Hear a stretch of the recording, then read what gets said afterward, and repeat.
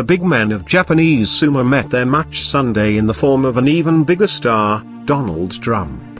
Trump was the first US president to attend a tournament in sumo's hallowed Ryogoku Kokugikan Arena and when he entered, the crowd of more than 10,000 cheered and whistled.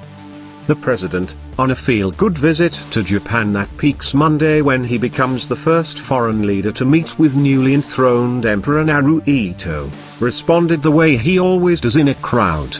He waved. He pumped his fist, he beamed. Even more than most normal politicians, Trump loves being center of attention and here on the other side of the world he proved his star power.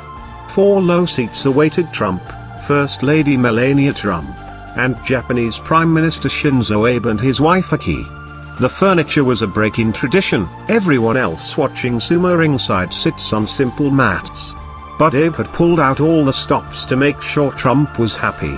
For several minutes, the crowd seemed to forget the sumo ring, instead turning to Trump, who wore a light pink tie, and his ex-model wife, who wore a deep pink dress.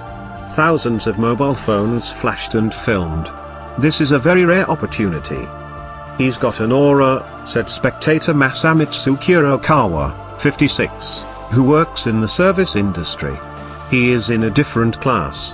That said, sumo crowds are passionate about their uniquely Japanese sport and as soon as the action in the ring recommenced, even Trump appeared briefly forgotten. Giant sumo grapplers pushed and buffeted each other.